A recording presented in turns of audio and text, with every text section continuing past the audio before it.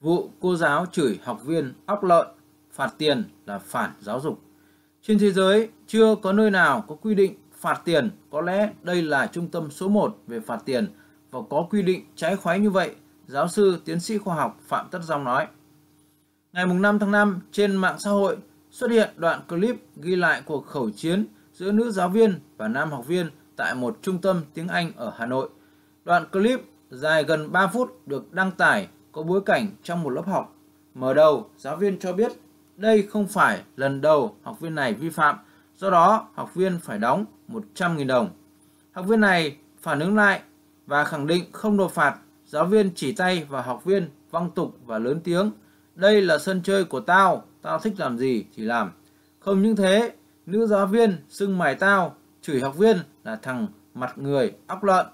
Không cần tư cách giáo viên rẻ rách. Trước cách hành xử của nữ giáo viên này, hầu hết đều có ý kiến bất bình.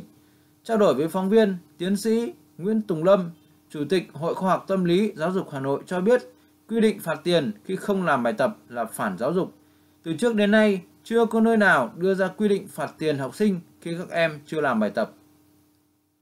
Trong clip, cô giáo chỉ chăm chăm tìm cách xoay tiền từ việc học viên không làm bài tập thì khác, chẳng khác gì lừa đảo, tiến sĩ Lâm nói.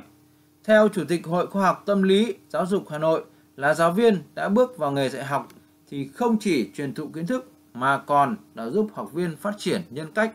Giáo viên phải chỉ ra cách để họ nhận thức chứ không phải lúc nào cũng đè ra phạt. Trong sự việc này, tiến sĩ Lâm cho rằng cô giáo không có đạo đức của nhà giáo, thể hiện năng lực sư phạm kém. Cô giáo không nhận thức được sứ mệnh của người thầy vì nóng giận mà hủy hoại hình ảnh của mình và khiến mọi người nghi ngờ về phẩm chất của nhà giáo. Không những thế, cô giáo này còn không tôn trọng học sinh, ứng xử như ngoài chợ, miệt thị, mặt sát. Trong tâm lý học, đã xúc phạm nhân cách của người khác thì nhân cách của mình cũng không bao giờ có, tiến sĩ Lâm chia sẻ. Giáo sư tiến sĩ khoa học Phạm Tất Dông, Phó Chủ tịch Hội khuyến học Việt Nam bày tỏ, trên thế giới chưa có nơi nào có quy định phạt tiền. Có lẽ đây là trung tâm số 1 về phạt tiền và có quy định trái khuấy như vậy. Về hành vi của cô giáo trong clip, tiến sĩ Phạm Tất Dông cho rằng dù học sinh hỗn láo ở mức độ nào chăng nữa thì giáo viên cũng không được văng tục. Nếu học sinh sai thì học sinh chịu quy định hình phạt của nhà trường, trung tâm, giáo viên có thể cảnh cáo đuổi học. Giáo viên dùng lời lẽ thô thiển, tục tiễu là không thể chấp nhận được. Không có người giáo viên nào lại dùng từ tôm cá quá như vậy.